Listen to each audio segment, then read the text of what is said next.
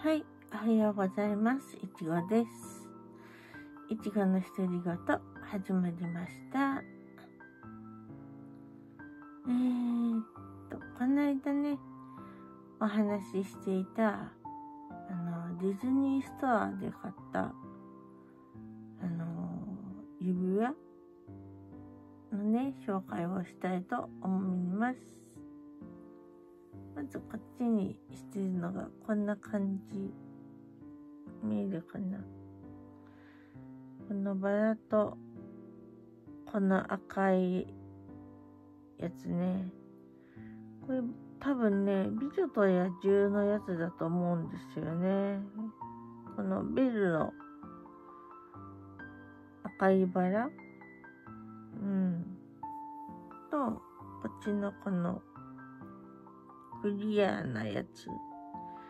これがね、可愛いなと思って、私は、これを購入したんですけども。これでね、多分1000円いかないぐらいだったと思うんですよ、多分。うん。なかなか、あの、つける機会はないんですけれども。これね、可愛いなぁと思って、もうね、なんだろう、夏前ぐらいかな。うん、ディズニースターに行った時に買ったんですけど。どこのディズニースターだったかななんか、どっか、横浜、横浜だ、うん、桜木町だったかななんか、あ、でも違うような気がする。とか都内のような気がする。で、褒めするとこんな感じ。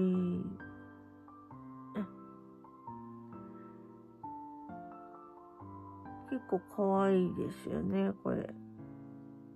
うん。そう。どこだったっけかな？なんかね、狭いとこだったんだよね。か、閉店間際に行って、いそいそと買い物したような気がするんですけど、どこ行った時だろう。ちょっと記憶にない。うーん、思いつかない。なんだろう、なんか、サンリオショップと、ディズニーストアとくっついてるとこだったんですよ。どこだろう？桜木町かな？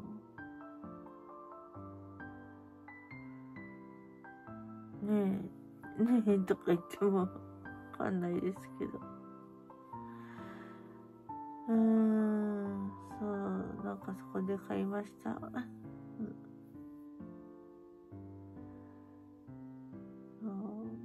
昨日ね、ドコモショップとバトってね。なんかこう、なんだろう、解約する期間、期間っていうのかな。なんか私、モバイル Wi-Fi を持ってたんですね。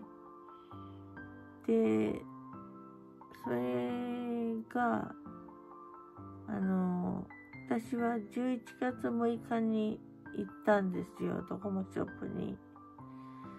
それで、解約の手続きをしたんですけれども、なんかね、こう、帰って書類を見たら、なんか、11月30日までは、今のプランで、なんか、できるみたいなことが書いてあったんですよ。で、12月1日から、新しいプランに変更ってなってて、えって思って、だったらモバイル Wi-Fi を11月30日まで使えたんじゃないかっていう、ちょっと疑問に思ったんですね、私ね。それで、ドコモショップの方に電話して、なんか、その11月6日に解約になっているんだけど、11月30日まで使えたんじゃないかって言ったら、なんか、なんかね、それはそうなんですけど、みたいな感じで言ってて、でも、11月6日に解約してるから、もうそれは、もうダメです、みたいな感じに言われて、で、でも、私ね、8日以内にキャンセル、解約をキャンセルできるっていうところに丸がついてたんですよ。マーカーでね。で、そこにマーカーで丸がついてるんですけど、って言って、私まだ8日経ってなかったから、そしたら、あ、それは、新規で、あの、スマホを、あの、なんていうの？買った人が、8日以内にキャンセルできるっていう意味ですよって言われて、えー、じゃあなんで丸がついてるんですか？って言ったら、なんか、私が、その、解約のね、担当した人が、まだ新人さんだったらしくて、よくわかってなくて、丸をつけてしまいましたって言われて、で、えー、と思って、またそこで疑問に思って、えー、だったら、えー、と思って、それで、え、じゃあなんか解約できないんですか？みたいなことを言って、で、そしたら、もうそういう前例はないですから、とか言って言われて、で、日割り計算にすると、なんか割増になりますとか言われて、でも私、モバイル Wi-Fi ね、無制限のプランに入ってたんですよ。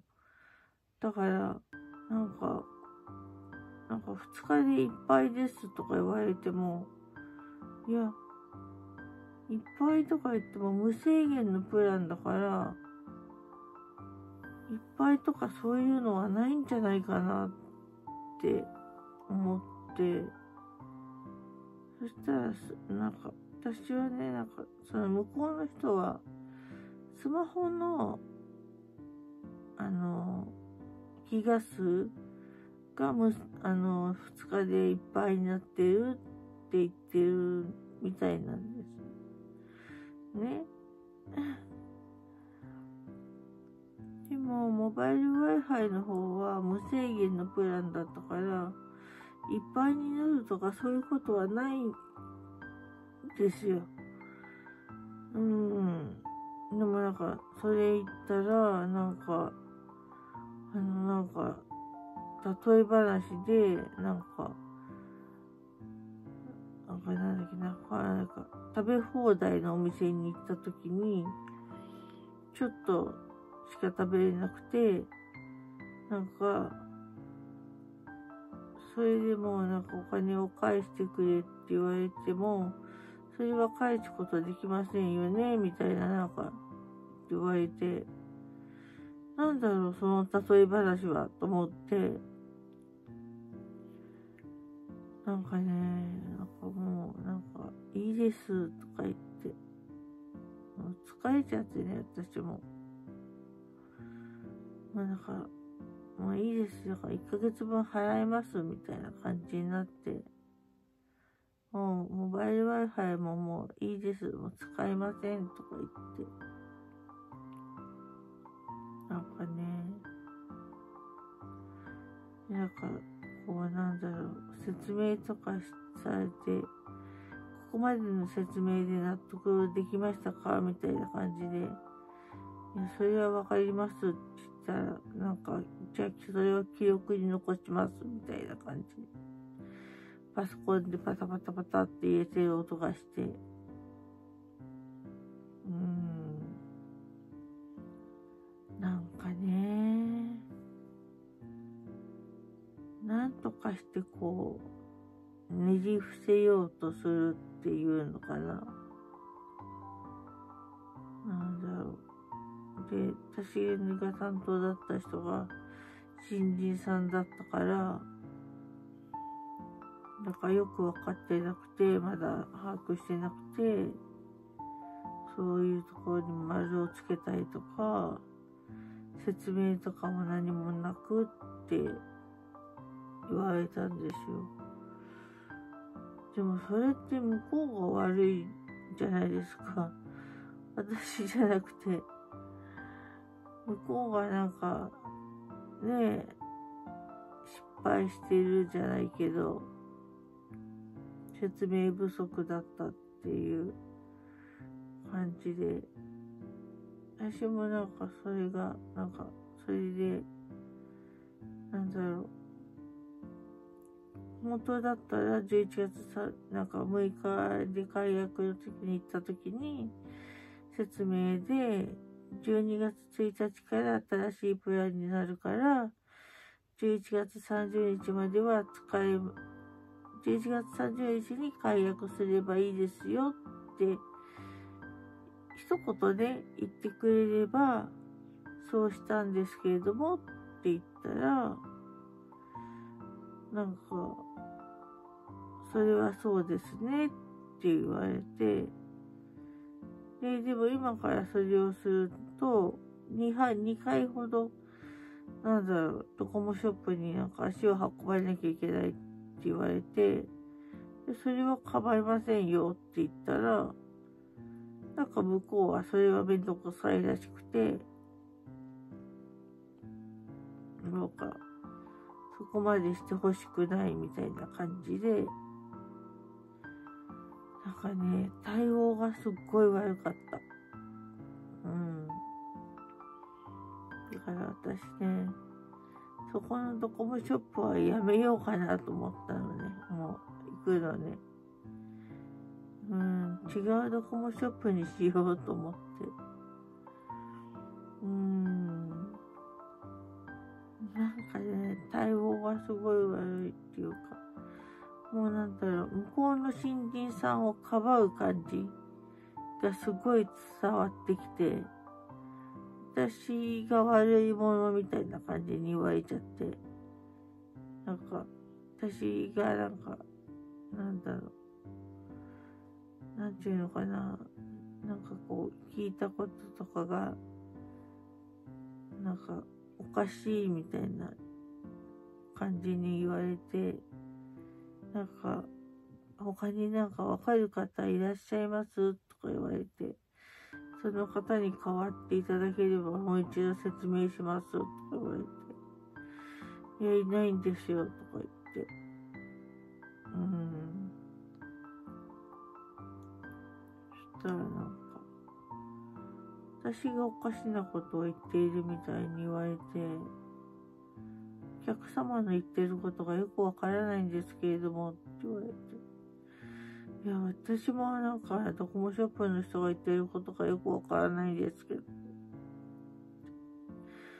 いう感じでね。なんか結局もうなんか、11月6日解約で、1ヶ月分の値段を払うことになりました。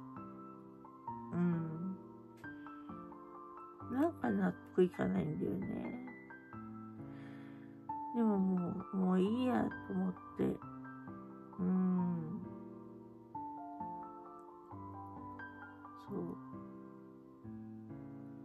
それでね、もう疲れ果ててね、私はなんか、しばらく力が抜けてたんですよね。なんか、そういうことってあるんだなと思って。力が抜けるっていう。だからもう本当にもう力抜けちゃってもうぐたってなっちゃって、もうなんだろう、初めての体験っていうか、うん、びっくりしました。体がね、もうなんかもう、ほんと動かないんですよ。もうなんか疲れちゃったっていうか、精神的にやられたっていうかね。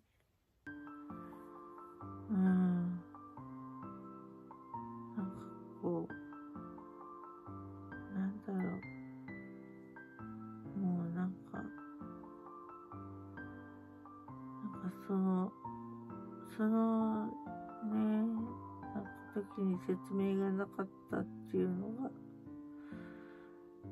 一番ね、悪い、悪いっていうか、良くなかったんだと思うんですけど、でも向こうはなんか、新人さんでまだよくわかってない部分があってって言われて、うん。ねだからもう、なんか、もういいかなって思ってね。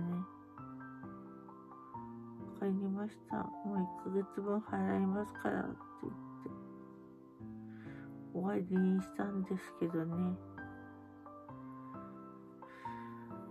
はあって感じ。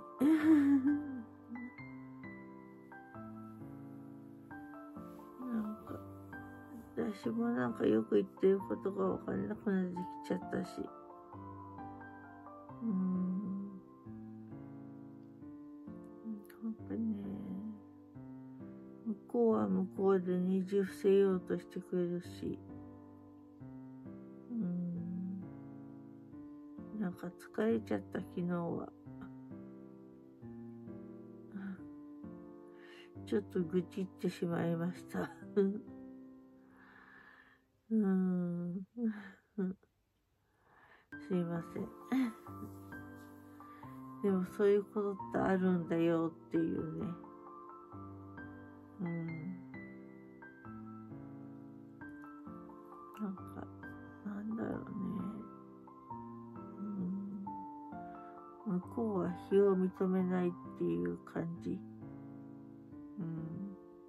それがすごく伝わってきました。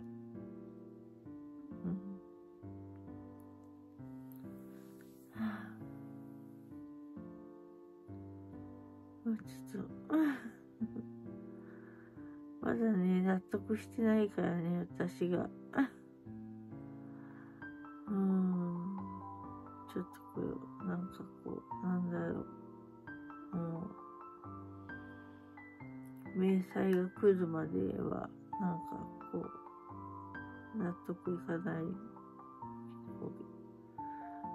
うん、なんかね、なんか、ぐだぐだ言って、一人言で言ってますけど、うん、まあもう仕方がないと思って、うん、1ヶ月分払いましょうって感じですね。うん。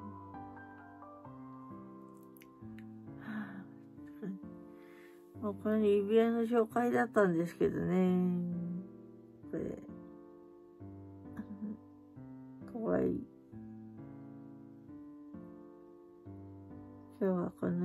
の紹介でした。ちょっと愚痴っちゃったけど、すいません。なんか何言ってるか分かんなかったかもしれないけど まあ、ドコモショップの方は非を認めないということで、うん。私の方はもう諦めモードになったっていうことで終わりになりました。それはね、もうその話は。うん。ということで。いちごの独り言、今日は終わりにしたいと思います。またね、次の動画でお会いしましょう。バイバイ。またねーバイバイ。またねー